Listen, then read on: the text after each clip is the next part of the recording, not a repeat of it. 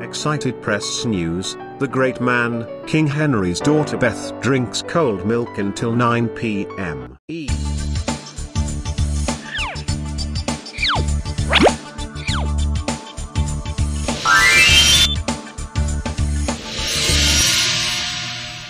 Prefix Origin of name The word prefix is originated from two Latin words, pra and figia. Pra means before, figia means to fix, so prefix means fixed in front. In physics terminology, prefixes are words or letters added before a unit and stand for the multiples or submultiples of that unit. For example, kilo, mega, milli, micro, etc. Some of the quantities are either very large or very small.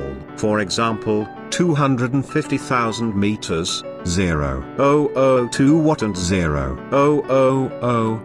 000, grams, etc. SI units have the advantage that their multiples and submultiples can be expressed in terms of prefixes. The prefixes are useful to express very large or small quantities. For example, divide 20,000 grams by 1000 to express it into kilogram, since kilo represents 10 raised power 3, or 1000. However, double prefixes are not used. For example in below case, no prefix is used with kilogram since it already contains the prefix kilo. So mega has to be used. So, to understand which prefix has to use in a specific scenario, you have to learn following table. On left side prefixes, exa, peta, tera, giga, mega, kilo, hecto, deca, deci, centi, milli, micro, nano, pico, femto, atto, are mentioned, and symbols on middle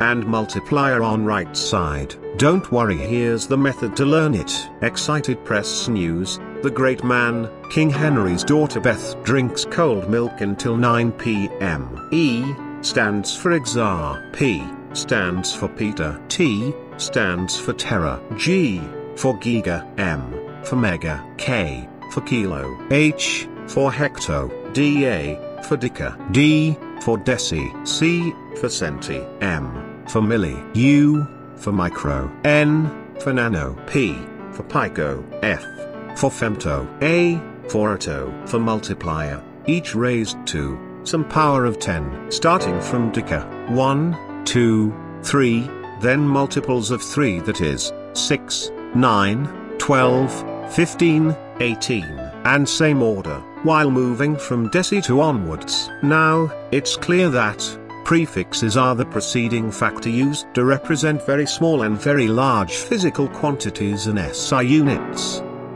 Thanks for watching. Stay tuned and support us. Like, share, and subscribe our channel SKW. We will try our best to give simple and effective educational information via the use of the best animation.